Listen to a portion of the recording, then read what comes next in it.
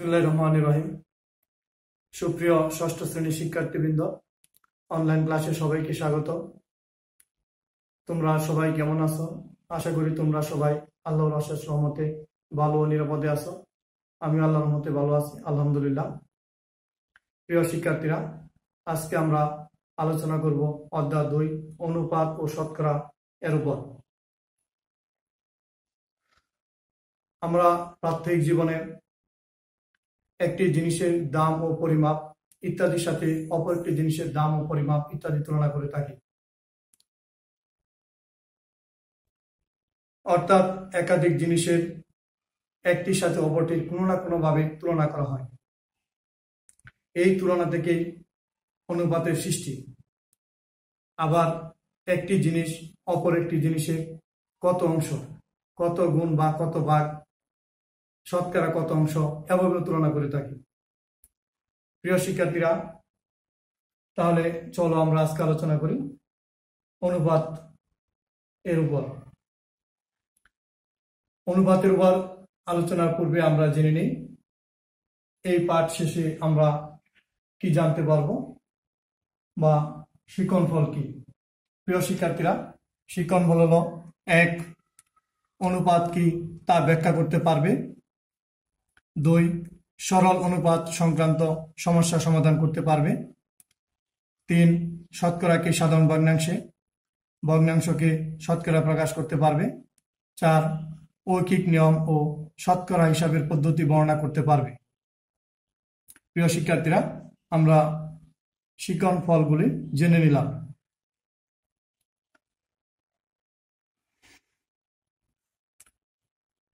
অনুপাতে সাধারণত আমরা প্রায়শই একই ধরনের দুটি জিনিসের তুলনা করে থাকি।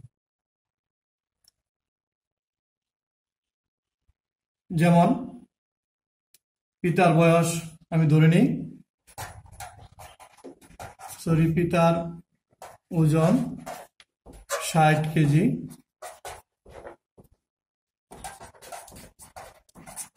ও পুত্রের ওজন ত্রিশ কেজি। তাহলে পিতার ওজন পুত্রের ওজনের কত গুণ হবে? তা আমরা অনুপাতের মাধ্যমে নির্ণয় করি। তাহলে লিখব পিতা ও পুত্রের ওজনের অনুপাত সমান। তা আমরা একটু বলে নিই, আমরা অনুপাতের চিহ্ন হলো অনুবাদকে এই চিহ্ন দ্বারা প্রকাশ করি। দুইটা ফুটা এইভাবে। তাহলে পিতা পুত্র অনুপাত লিখব আমরা। আর অনুপাতের প্রথম রাশিকে আমরা পূর্ব রাশি আর দ্বিতীয় রাশিকে ধরি। উত্তর রাশি। আমরা এইভাবে লিখে নিই। ষাট কেজি লিখলাম না, ষাট বাই ত্রিশ সমান। আমরা যদি ত্রিশ দ্বারা ভাগ করি তাহলে হবে উপরে দুই, নিচে এক। আমরা এটা লিখতে পারি এভাবে দুই অনুপাত এক। তাহলে হলো পিতার ওজন হলো পুত্রের ওজনের দুই গুণ আমরা এটা নির্ণয় করলাম। এছাড়া যদি আমরা ধরি, একটি বিদ্যালয়ের বিদ্যালয়ের একটি শ্রেণীতে ছাত্রের, ছাত্র সংখ্যা হলো পঞ্চাশ জন। ও ছাত্রী সংখ্যা ধরি চল্লিশ জন। এটাকে আমরা অনুপাতের মাধ্যমে প্রকাশ করতে পারি। ছাত্র ও ছাত্রীর সংখ্যার অনুপাত।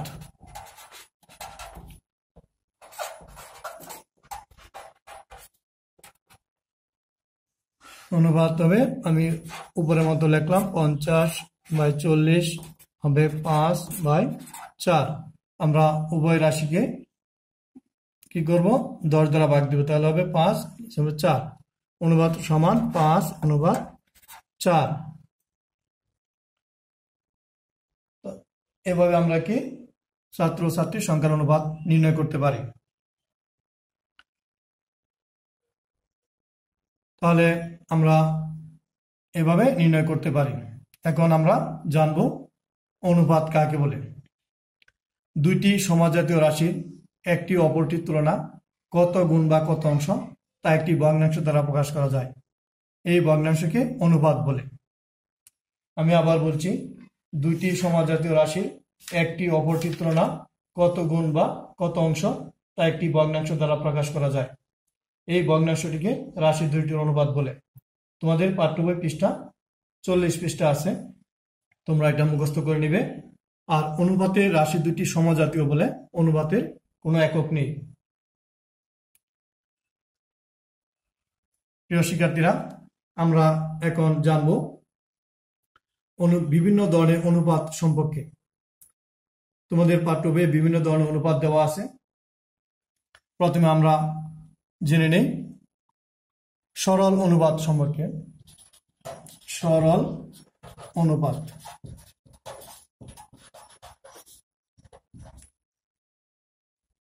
কোন অনুপাতে দুটি রাশি থাকলে তাকে আমরা সরল অনুপাত বলি। কোন অনুপাতের যদি দুইটি রাশি থাকে, তাহলে আমরা সরল অনুপাত বলি। যেমন পাঁচ অনুপাত তিন। এখানে পাঁচ হলো পূর্ব রাশি। আমি লিখে দিচ্ছি, পাঁচ হলো পূর্ব রাশি, তিন হলো উত্তর রাশি।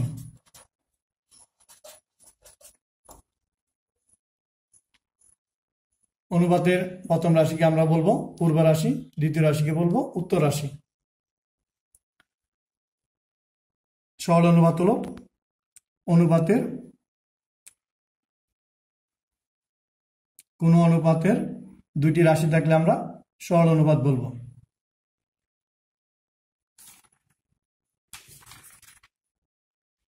অনুপাতের দুইটি রাশি থাকলে আমরা তাকে সরল অনুপাত বলব। তারপর আসি সমতুল অনুপাত।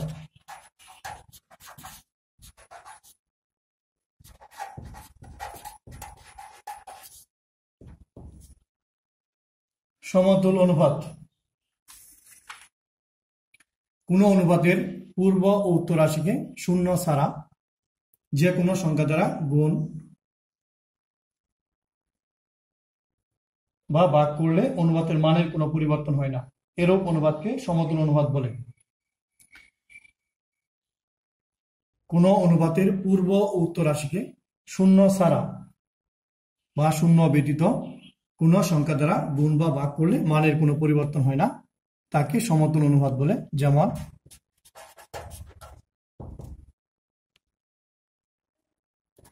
পাঁচ অনুপাত তিন।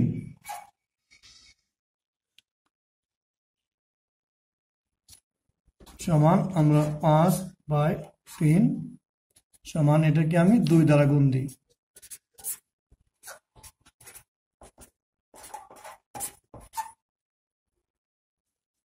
হলো কত? সমান হবে দশ অনুপাত ছয়। তাহলে আমরা কি পেলাম? সুতরাং পাঁচ অনুপাত তিন ও দশ অনুপাত ছয়। সমতুল অনুপাত। পাঁচ অনুপাত তিন ও দশ অনুপাত ছয়, সমতুল অনুপাত।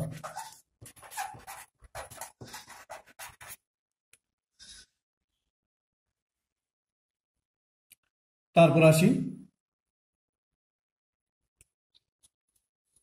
হচ্ছে লঘু অনুপাত।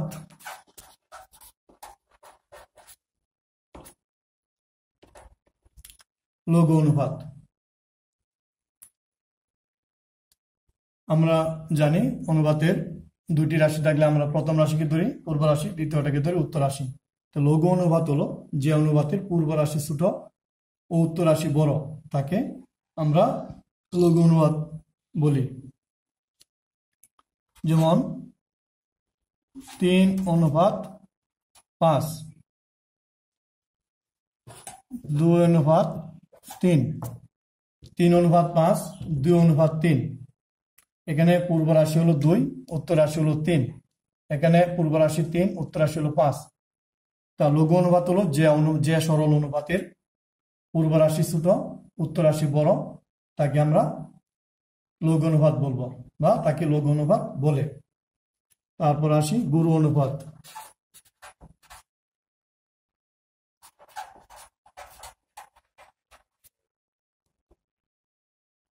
গুরু অনুপাত হলো আর উল্টাটা। যে সরল অনুপাতের পূর্ব রাশি বড় পূর্ব রাশি উত্তর রাশি থেকে বড় তাকে আমরা গুরু অনুপাত বলি। যেমন, পাঁচ অনুপাত তিন তিন অনুপাত দুই। গুরু অনুপাত যে সরল অনুপাতের উত্তর রাশি থেকে পূর্ব রাশি বড়, তাকে গুরু অনুপাত বলে। এখানে পূর্ব রাশি পাঁচ উত্তর রাশি হলো তিন। এখানে পূর্ব রাশি তিন উত্তর রাশি হলো দুই। তারপর আসি একক অনুবাদ।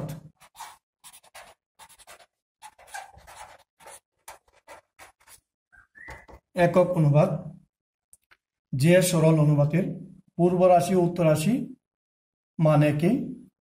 মান সমান। যেমন, পনেরো অনুবাদ পনেরো। এখানে যদি আমি উভয় রাশিকে পনেরো দ্বারা ভাগ করি, তাহলে হয় এক অনুবাদ এক। এক অনুবাদ এক, সেটা হলো একক অনুবাদ। যে পূর্ব রাশি উত্তর রাশি সমান, সে অনুবাদকে একক অনুবাদ বলে।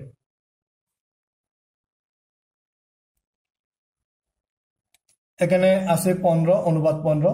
আমি উভয় রাশিকে যদি পনেরো দ্বারা ভাগ করি, তাহলে হবে এক অনুপাত এক। আমি এইভাবে লিখতে পারি। হা, এক অনুপাত এক। তারপর আসি, ব্যস্ত অনুপাত।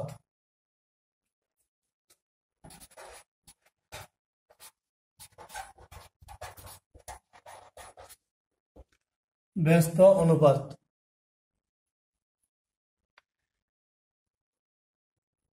ব্যস্ত অনুপাত হল সরল অনুপাতের পূর্ব রাশিকে উত্তর রাশি। এবং উত্তর রাশিকে পূর্ব রাশি করলে যে প্রাপ্ত অনুপাত হয় সেটি হল ব্যস্ত অনুপাত। যেমন পাঁচ অনুপাত সাত। যদি আমি এই অনুবাদটিকে পাঁচ অনুবাদ সাতকে যদি আমি সাত অনুবাদ পাঁচ লিখি, তাহলে কি হবে? এর ব্যস্ত অনুবাদ হলো পাঁচ অনুবাদ সাতের ব্যস্ত অনুবাদ হলো সাত অনুবাদ পাঁচ। সরল অনুবাদের পূর্ব রাশিকে উত্তর রাশি এবং উত্তর রাশিকে পূর্ব রাশি করে প্রাপ্ত অনুবাদকে পূর্বের অনুবাদের ব্যস্ত অনুবাদ বলে। পাঁচ অনুবাদ সাত এর ব্যস্ত অনুবাদ হলো সাত অনুবাদ পাঁচ। তারপর আসি মিশ্র অনুপাত।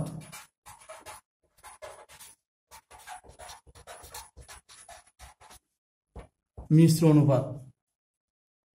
একাধিক সরল অনুপাতের পূর্ব রাশিগুলোর গুণফলকে পূর্ব রাশি এবং উত্তর রাশিগুলোর গুণফলকে উত্তর রাশি ধরে প্রাপ্ত অনুপাতকে মিশ্র অনুপাত বলে। আমি আবার বলছি, একাধিক সরল অনুপাতের পূর্ব রাশিগুলোর গুণফলকে পূর্ব রাশি এবং উত্তর রাশিগুলোর গুণফলকে উত্তর রাশি ধরে প্রাপ্ত অনুপাতকে মিশ্র অনুপাত বলে। আমি উদাহরণ দিয়ে বুঝিয়ে দিচ্ছি। যেমন এবার দিয়ে লিখছি যেমন দুই অনুবাদ তিন ও পাঁচ অনুপাত সাত। এটা কি নিলাম? সরল অনুপাত।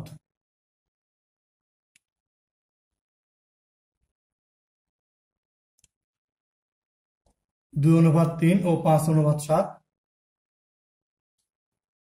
এর মিশ্র অনুপাত হবে এটার পূর্বাশী হলো দুই, এটার পূর্বাশী হলো পাঁচ। তাহলে দুই গুণ পাঁচ অনুপাত হবে তিন। এটার উত্তরাশি হলো তিন, এটা উত্তরাশি হলো সাত। তিন গুণ সাত।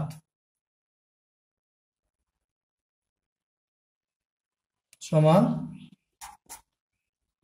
দুই গুণ পাঁচ হলো দশ, অনুপাত তিন গুণ সাত হবে একুশ।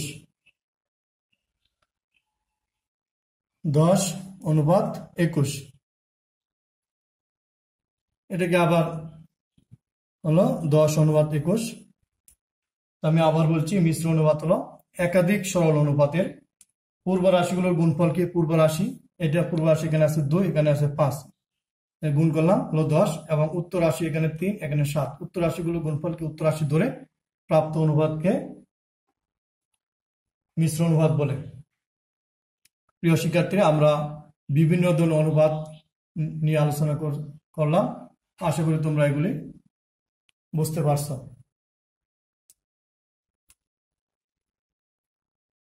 আমরা পরবর্তী ক্লাসে তোমাদের পাঠ্য বই ছিচল্লিশ পৃষ্ঠা অঙ্কের সমাধান করব। তাই আজকে আমরা এই প্রাথমিক আলোচনায় করলাম। তোমরা দের বাড়ির কাজ হলো এই বিভিন্ন ধরনের অনুপাত অনুবাদ কাকে বলে, এগুলি তোমরা বাসায় সুন্দর করে পড়বে এবং লিখবে। প্রিয় শিক্ষার্থীরা, তোমরা সবাই বাসায় অবস্থান করবে, নিয়মিত পড়াশোনা করবে, পিতামাতার কথা শুনবে এবং স্বাস্থ্যবিধি মেনে চলবে। সবাইকে ধন্যবাদ। আল্লাহ হাফেজ।